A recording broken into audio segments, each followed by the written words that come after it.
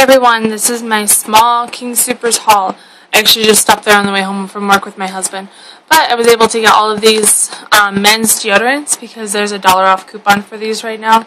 Um, these are both like, there's this little one and and this, actually they're both about the same size, but these are just the round ones. They're both a, like a clear gel deodorant for men. Um, they're on sale right now at King Soopers 10 for $10 or any Kroger affiliate and there's dollar off coupons. Um, so those ones were free. They just had tax on them. So I actually got 20 of those. I had a bunch of coupons for them that I got from eBay. Um, and then the next thing, which I I know you guys saw me get this before, the Snapple. Um, I was just waiting for more coupons and waiting for these to go on sale again because I, I love these. So I have 15 Snapples, all different flavors.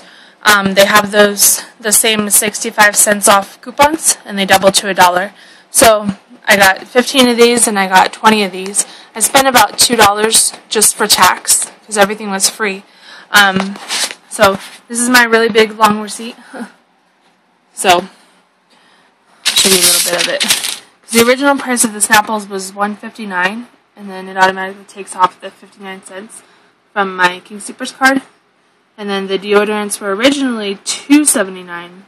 This camera does not focus very well, but they were originally two seven nine for the two seventy nine for the deodorants, and so it was a dollar seventy nine off of that. Um, so those ones were also ten for ten. Um, there's all my coupons. It's a lot, I know. And then, of course, these are all the Snapple coupons doubling up to a dollar. Um, the reason my total was 501 is because I actually bought I bought one of these little axes to try the axe for her. So I had to try that too. Um, so not bad at all. I got all these for free. So pretty excited about that. And I bought these coupons for the deodorants on eBay for 99 cents. So yeah, that's a pretty awesome deal.